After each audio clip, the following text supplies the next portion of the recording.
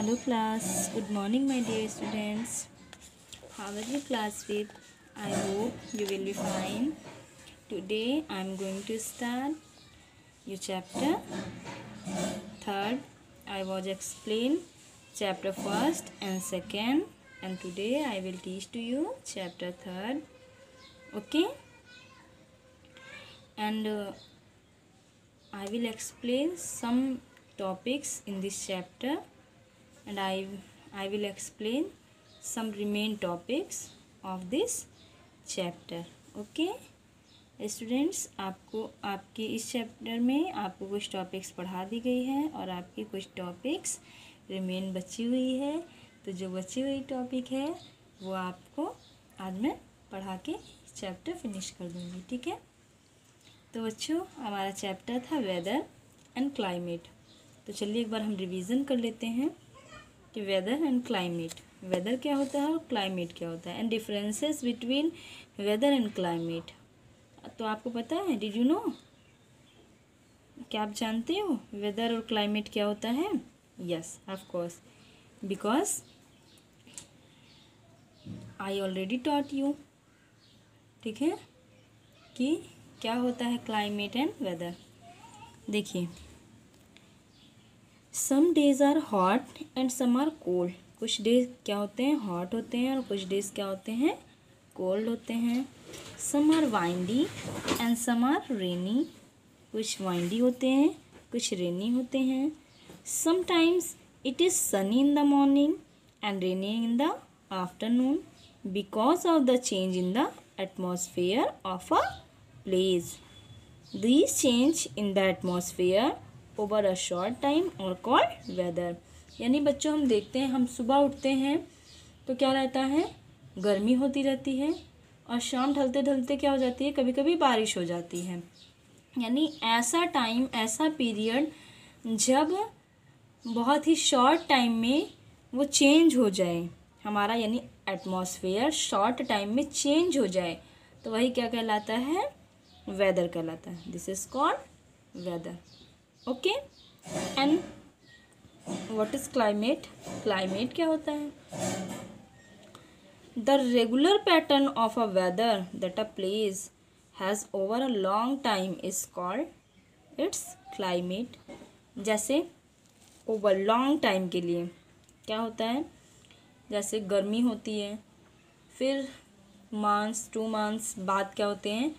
Summer, रेनी monsoon, बहुत सारे seasons होते हैं। ये यानी लंबे समय बाद जो आता है, वो क्या कहलाता है? क्लाइमेट कहलाता है। Okay understand what is climate and what is weather आपको पता चल गया? समझ गए आप कि वो हाँ वेदर क्या होता है और क्लाइमेट क्या होता है? दोनों में डिफरेंस क्या होता है? Difference between weather and climate देखिए बस वेदर जो होता है वो शॉर्ट टाइम के लिए होता है, यानी शॉर्ट टाइम में उसका एटमॉस्फेयर चेंज होता रहता है, वही वेदर कहलाता है, और जो लॉन्ग टाइम में चेंज होता है वो क्लाइमेट कहलाता है। तो this is difference between weather and climate okay अब देखिए बच्चों, ये था किसके बारे में? वेदर एंड क्लाइमेट के बारे में, ठीक है? फैक्टर्स दैट अफेक्ट क्लाइमेट यानी मैंने बताया था आपको कि क्लाइमेट के कुछ फैक्टर्स कुछ एरिया में उसके इफ़ेक्ट पड़ते हैं। The climate a place has depends on different factors all them of kind link to the geography of places यानी कि कहीं किसी भी प्लेस का क्लाइमेट यानी वहाँ के डिफरेंट फैक्टर्स पर निर्भर करता है। जैसे कि कहीं कहीं का भी क्लाइमेट हुआ, किसी भी प्लेस का क्लाइमेट हुआ, वहाँ के रहने वाले लोगों और वहाँ के फैक्टर्स पर निर्भर करता है। ठीक है? अब देखिए लेटीट्यूड और distance from the equator latitude और डिस्टेंस इक्वेटर से उसकी डिस्टेंसेस बताई गई है। देखिए। एक बात, मैंने आपको बताया था, मैंने आपको इक्वेटर पढ़ाया था लैटिट्यूड एंड लॉन्गिट्यूड इसके पहले पढ़ाया था।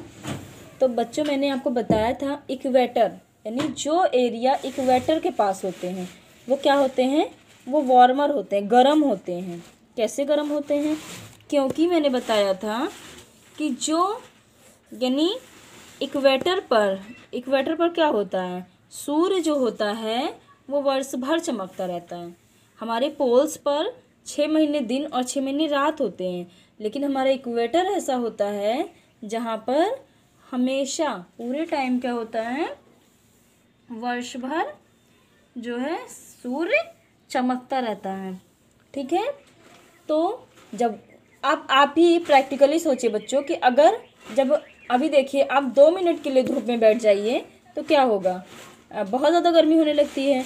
तो जब इक्वेटर पर साल भर वर्ष चमकता रहता है, यानी इक्वेटर ऐसा प्लेस है जहाँ पर हमेशा जो है, सूर्य निकलता रहता है तो यानी जब वहाँ पे सूर्य निकलता रहता है तो वहाँ पे जो भी एरियाज़ होंगे, वहाँ पर क्या होगी? गर्मी ही तो होगी, क्योंकि जब वहाँ पर धूप जाएगी नहीं तो वहाँ पर क्या होगा? गर्मी होगी। और जिन इक्वेटर पर, यानी जब वहाँ इक्वेटर से अलग जो भी एरियाज़ होंगे तो वहाँ पर कंट्रीज़ होंगी, वहाँ पर क्या होगा? वहाँ पर नहीं होंगे, वो क्या होंगे? कूलर होंगे। ठीक है? अब देखिए एटीट्यूड और हाइट ऑफ़ लैंड ये आपको बताया गया था, यानी the altitude of a place also effect its climate वो क्या करता है? इससे क्लाइमेट को इफ़ेक्ट करता है। ठीक है? उस पर उसका प्रभाव डालता है। High land like mountains and plateau are much cooler and than places where the land is at sea level यानी जो हाई लैंड जो ऊंचाई वाले स्थान है, वहाँ का वहाँ का जो वेदर है, वो कैसा क्लाइमेट है जो वहाँ का, वो कैसा बना रहता है? ठंडा बना रहता है। ठीक है? और यानी जो हाई लैंड वाले हैं, वहाँ का ठंडा रहता है, और जो लो लैंड वाले हैं, वो क्या होता है? वार्मर रहता है। ठीक है? अब देखिए डिस्टेंस फ्रॉम द सी आपको बताया गया था वाटर हीट्स और cools more slowly the land वो क्या करते हैं? हीट और कूल स्लोली स्लोली लैंड पर करते रहते हैं। ठीक है? यानी अब आपको पढ़ना है क्या? वाइन्स पढ़ना था। ठीक है?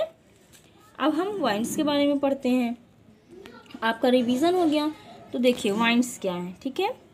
The direction of the regular winds that blow at a particular time of the year have an effect on climate too यानी हवाएँ जो होती हैं बच्चों, वो डायरेक्शन जब वो रेगुलर मान लीजिए, हवाएँ रेगुलर चल रही हैं, ठीक है, एक ही डायरेक्शन में। वो क्या करती हैं? जब हवाएँ चलती हैं तो वो क्या करती हैं? वो क्लाइमेट पर इफ़ेक्ट डालती हैं, ठीक है? देखिए an example is the monsoon monsoon का एग्ज़ाम्पल आपको दिया गया है। Winds that blow over the Indian continent वो क्या करती हैं? वो चलती हैं और ओवर करती हैं इंडियन सब कंटिनेंट को, ठीक है? The south west monsoon winds blow from early June to September and bring rain to most of India यानी साउथ वेस्ट में क्या होता है? मानसून में हवाएँ चलती हैं और जून टू सितंबर क्या होती हैं? रेन यानी हवाएँ चलती हैं और रेन होता है। ठीक है? The north east winds blow in December and January north east में क्या होता है? मानसून दिसंबर और जनवरी में होता है, हवाएँ चलती हैं और bring rain to south eastern coastal region of India वो कब होती हैं? साउथ ईस्टर्न में कोस्टल रीजन में इंडिया के कोस्टल रीजन में। You will learn more about this in later chapter आपको और भी सारी चीज़ें अभी आपको आगे बताई जाएँगी। Weather and climate happen because of geography weather और क्लाइमेट का होना एक क्या है? भौगोलिक रूप है। ठीक है? एक जियोग्राफी है। किसके कारण होता है ये? क्योंकि ये जियोग्राफी के कारण होता है। The earth atmosphere where a place is located on the earth यानी अर्थ का एटमोसफेयर जहाँ, यानी कहाँ पर है? अर्थ पर लोकेटेड है। ठीक है?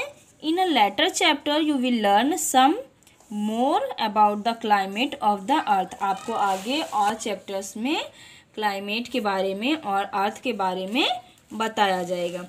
ठीक है? अब देखिए बच्चों, हम लोग क्या, ये आपका चैप्टर फिनिश हो गया, ठीक है? ये हम हम आपको वर्ड मीनिंग और क्वेश्चन आंसर किसके थ्रू सेंड करेंगे? पीडीएफ के थ्रू सेंड करेंगे। देखिए बच्चों fill in the blanks change in weather happen because of change in the atmosphere. Climate is the usual weather. Place has over a very long period of time winds has an effect on both weather and climate our lives are affected by both season and weather this is your fill in the blanks okay write true or false first है आपका true false false and true C है आपका match the following choose the correct answer ठीक है write all work in your fair copy through the video and I will send question answer and word meaning through the PDF okay लेकिन देखिए video में भी समझ लीजिए। ये आपका क्वेश्चन नंबर फ़र्स्ट है। What is the important difference between weather and climate ठीक है?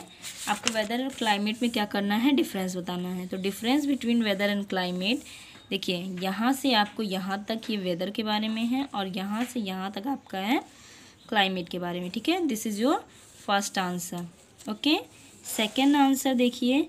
The way we live depend on the climate यहाँ से कहाँ तक है? Climate of a place okay this is your second answer third answer देखिए latitude और difference between from the equator इस हेडिंग में आपका एज वी मूव अवे से डायरेक्टली ऑन देम तक.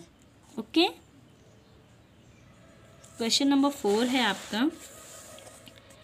Because the land heats very quickly places by the sea remain cooler as water takes a long time to heat ये आपका fourth number answer है okay fifth number है winds में तो आप लिखिएगा an example is the monsoon winds that blow over the Indian subcontinent okay this is your answer number fifth and if you do not understand and any problem you can ask me और बच्चों, आपकी doubt classes भी चलाई जा रही है तो आपको टाइम भी मैसेज कर दिया गया है तो आप उसी टाइम पर ऑनलाइन यानी लाइव आ सकते हैं और आप जो भी प्रॉब्लम होगी आप कंसल्ट कर सकते हैं ओके तो if you do not understand you can ask me okay thank you class